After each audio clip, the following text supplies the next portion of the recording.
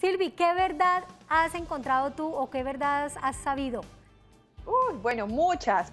Pero una que sí me marcó, eh, digamos que me marcó en ese momento, es que yo tenía un gran amigo y, y, a mi amigo pues todo el tiempo él me presentaba como sus novias y yo todo el tiempo que novias, que novias. Sin embargo, a mí sí había gente que me decía, no, él, él como que no es de novias, y yo sí, que las novias, y yo era pues Cupido. Ah. Bueno, cuando hasta que un día ya pues me dijo, no, es que mis novias no es novias, es que a mí me gustan los niños. y claro, en ese ah. momento para mí fue como, como, como así, entonces todas tus novias de toda la vida, o sea, no entiendo las que te conocí, las que te ayudé, o sea. Entonces, claro, que en ese momento quedé, porque era una persona muy cercana a mí, quedé como, como, como en shock, pero bueno, ya después uno se acostumbra como a eso y, y, fue pues chévere que él haya tomado como la iniciativa. Yo creo que al principio no era capaz, obviamente, porque de pronto sentía, obviamente, que la gente de pronto le iba a decir algo, pero no. Pues la amistad nunca cambió, nunca nada. Miren, yo les voy a decir una cosa hay verdades eh, de las que muchas personas se enteran que esto va a parecer una telenovela y van a decir, ay no, Diana ya empezó de sobreactuada, pero eso pasa mucho, esos casos en donde, por ejemplo, se cruzan los bebés y se va el bebé en el hospital con la familia equivocada y cuando son grandes se vuelven a reencontrar con sus verdaderas familias. Pues nosotros le preguntamos, ahorita hablamos de eso, nosotros les quisimos preguntar a nuestros televidentes cuáles han sido justamente esas verdades de las que se han enterado y vean ustedes lo que nos respondieron.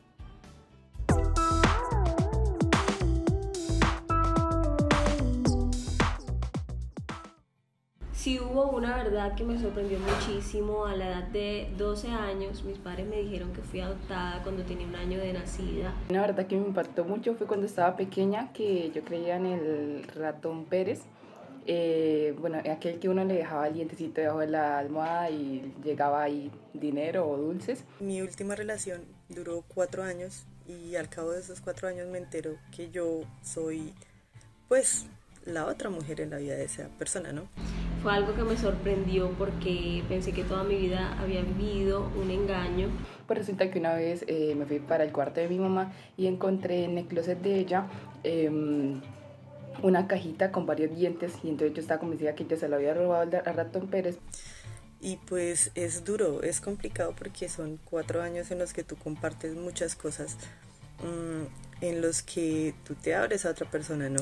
y fue duro saber que no eran mis padres de sangre, pero los amo como si lo fueran y les agradezco todos los días por tenerme. Pero resulta que pues admitió que en verdad era una ilusión, que era para que me dejara sacar los dientes y toda la vaina y yo pues fue mi primera verdad que me desilusionó mucho. Y pues me dolió más que el hecho de enterarme de eso, me dolió el hecho de que lo idealicé muchísimo, lo idealicé por tanto tiempo que no me di cuenta, ¿no?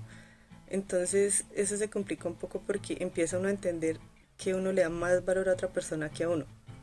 Y eso es lo que hace que sea más doloroso, ¿no?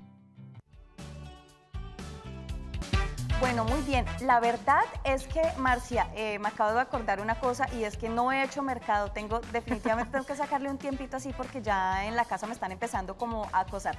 Y hablando de verdades, nuestra querida compañera Maye ha preparado una nota sobre un televidente, Sebastián. Él tiene 21 años y toda su vida ha tenido que liar con una verdad de la que le va muy bien. Conozcámosla. Hoy conoceremos la historia de Sebastián Flores, un joven de 21 años quien fue adoptado desde pequeño, una verdad que asimiló cuando tenía tan solo 6 años. Bueno, pues realmente es un tema que yo ya sabía. Es un tema que desde bebé mi mamá se encargó de irme contando. Recuerdo muy bien que ella me decía que yo era un regalo de Dios, que era un regalo del divino niño y que tenía varias mamás, haciendo referencia a mi mamá biológica, a ella misma eh, incluso a la Virgen María.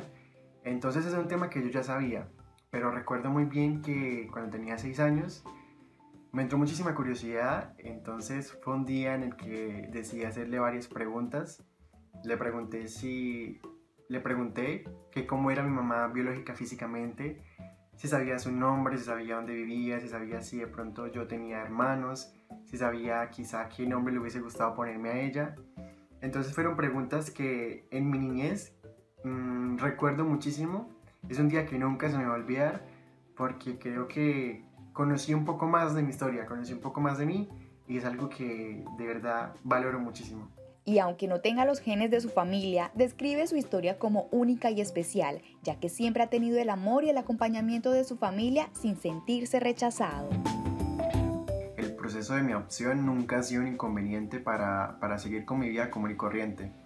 Eso junto con el amor que mi familia siempre me ha brindado, porque desde el primer día que llegué a la casa, que fue el siguiente día de haber nacido, ellos me acogieron en su hogar de la manera más especial posible, dándome su amor, dándome sus conocimientos, sus cariños, sus respetos. Sebastián no conoce a su madre biológica, sin embargo no descarta la posibilidad de algún día encontrarse con ella. De esta forma envía un mensaje a las personas para que se acepten tal cual como son. Bueno, y pues aprovecho para hacer una invitación a todos a que aceptemos como somos, que aceptemos nuestra historia, de dónde venimos, con quién nos rodeamos, que nos aceptemos y que nos queramos tal cual somos. Personas que quizá han pasado por un proceso de adopción como yo y que en algún momento de su vida se han sentido rechazados, se han sentido diferentes o de pronto no queridos, yo creo que lo más importante es el hecho de que tenemos una vida, de que estamos sanos, de que podemos vivirla a nuestra manera, a nuestro gusto y eso es lo que siempre debemos buscar la felicidad propia, la felicidad de los que nos rodean y pues sobre todo dar y recibir muchísimo amor.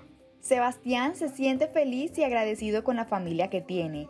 Valora la sinceridad y la metodología que usaron sus padres para hacerle saber que es una persona adoptada, ya que de lo contrario hubiese sido una historia diferente.